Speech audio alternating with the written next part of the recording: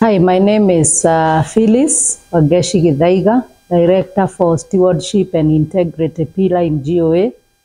My focus is to develop and train leaders of readers who can uh, be able to ap- apply or implement the vision of GOA in the whole world.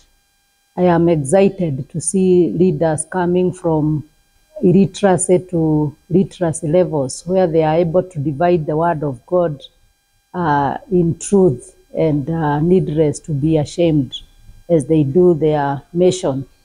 We are appealing to everyone watching us that we team up together to train and develop leaders who need not to be ashamed and who correctly divides the word of truth.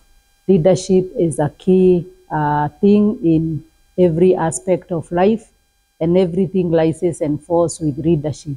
When we have trained and empowered leaders, we are likely to have better results. I appeal to uh, all our partners, all our friends, to help us establish training centers all over our churches and libraries where they are able to equip the ministers with the materials that are going to empower them and equip them for the work they are doing. We thank you for every support and we look forward to partnering together for the next level of uh, our leadership development.